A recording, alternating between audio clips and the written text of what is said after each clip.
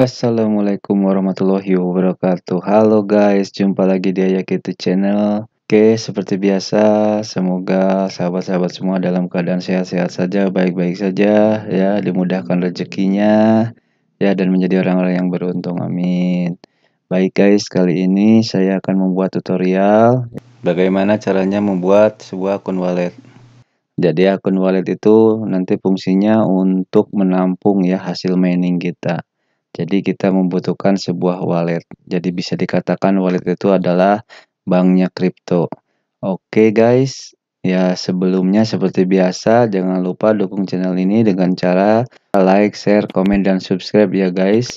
Oke, terima kasih sebelumnya dan yuk kita langsung ke tutorialnya. Baik, wallet yang akan digunakan di sini adalah wallet dari Binance. Baik, di sini kita buka browser Chrome-nya, lalu masuk ke Google. Lalu di sini kita ketik Binance. Udah langsung ada di pencarian paling atas, bisa kita lihat. Lalu kita klik kanan, open new browser. Oke, kita tunggu sebentar. Oh, oh, aduh, ternyata nggak bisa diakses. Baik, kita klik expand saja, lalu kita klik di sini proses to Binance ya, kita coba. Oh, ternyata diblokir guys. Situsnya diblokir. Oke, nggak apa-apa. Nah, untuk mengatasinya berarti kita membutuhkan uh, eh, VPN ya. Baik, kita install dulu VPN ya. Ya udah, kita sekarang langsung aja ke address bar ya. Kita ketik browse. Oke, kita klik nah ini dia. Lalu kita add chrome. Lalu kita add extension. Kita tunggu sebentar. Sedang instalasi. Dan sudah selesai. Oke VPN nya sudah terinstall di, di chrome nya lalu sekarang kita jalankan browser nya oke.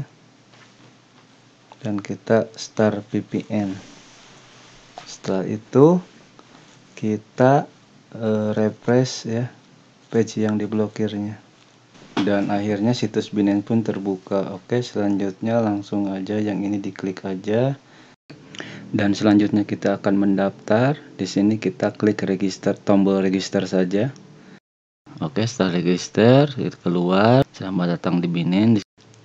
Di sini kita akan menggunakan email ya untuk mendaftarnya bagi yang belum punya email, silahkan ya bikin email terlebih dahulu.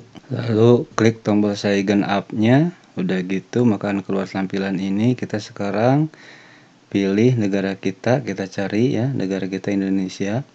Nah, negara Indonesia sudah ketemu, selanjutnya kita tinggal klik tombol confirm saja.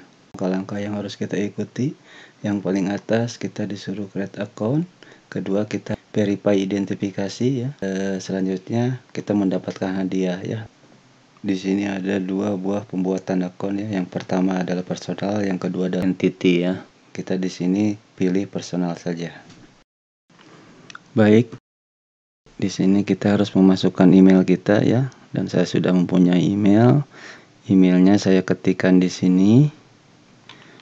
Dan selanjutnya kita masukkan ya password yang kita inginkan ya usahakan passwordnya harus eh, apa?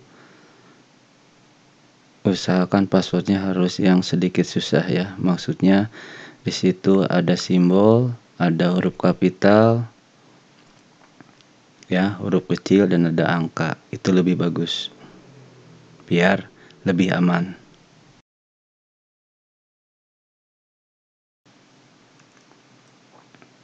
Oke. okay kita ketikkan passwordnya saja di sini.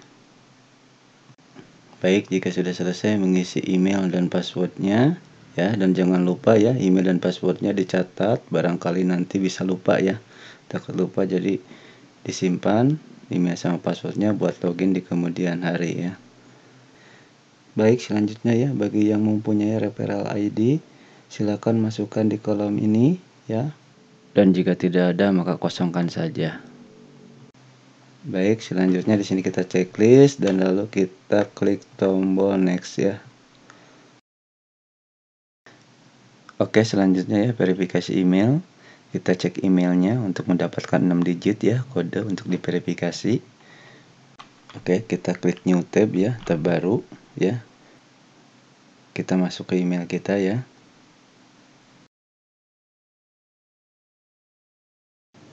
Oke ternyata emailnya sudah masuk ya. Selanjutnya kita klik emailnya.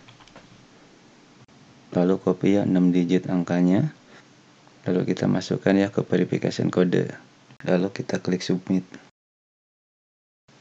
Dan langkah selanjutnya ya kita harus masukkan nomor telepon kita ya. Kita cari dulu kode area negaranya. Kita cari Indonesia setelah ketemu. Lalu kita masukkan nomor teleponnya Oke, setelah masuk lalu kita klik tombol next dan kemudian setelah itu kita juga akan dikirimkan kode ya untuk verifikasi nomor telepon kita. Sekarang kita cek HP-nya ya ada kiriman SMS dari Binance dan di situ kita dikirim 6 digit ya dan kita harus masukkan ke dalam sini. Kita masukkan lalu selanjutnya kita klik submit. Baik. Baik dan nomor teleponnya sudah terverifikasi ya. Selanjutnya pembuatan akun sudah selesai. Selanjutnya kita kita klik tombol verify now nya lalu di sini kita isi biodata kita ya. Nama lengkap dan tanggal lahir. Oke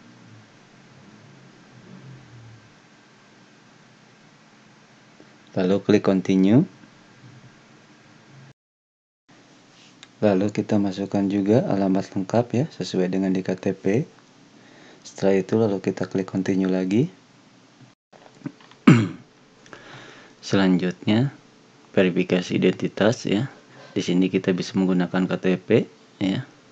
Paspor ataupun uh, driver license atau SIM ya Oke, saya akan memilih pakai KTP saja. Saya klik KTP lalu saya klik continue.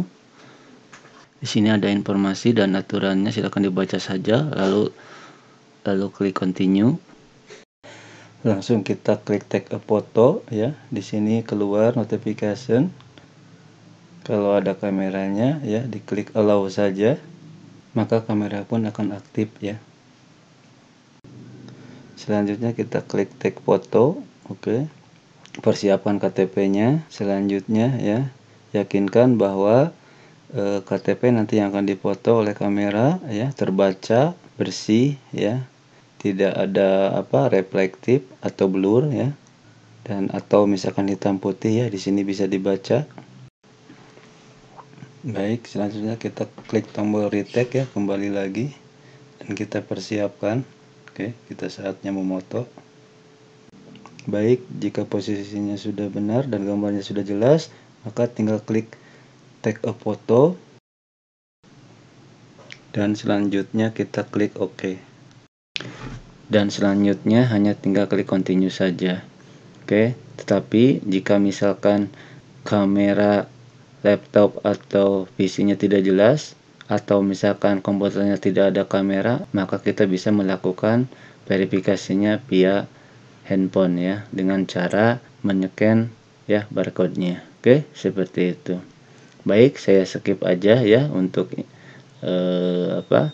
Untuk verifikasi identitasnya ya. Selanjutnya setelah semua berhasil, maka dikirim email ya verifikasi terakhir seperti ini yaitu email verification successful ya Alhamdulillah sudah di ACC dan langkah selanjutnya di sini kita ya disuruh untuk mengklik verification center. Kita klik.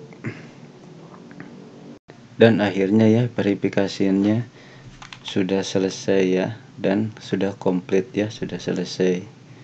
Oke guys. Seperti ini ya. Cara mendaftar ya.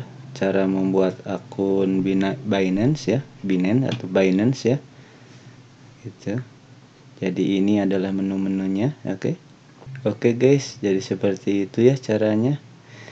Mudah-mudahan bermanfaat ya. Oke okay, sekian dulu. Sampai ketemu di tutorial selanjutnya. Terima kasih. Assalamualaikum warahmatullahi wabarakatuh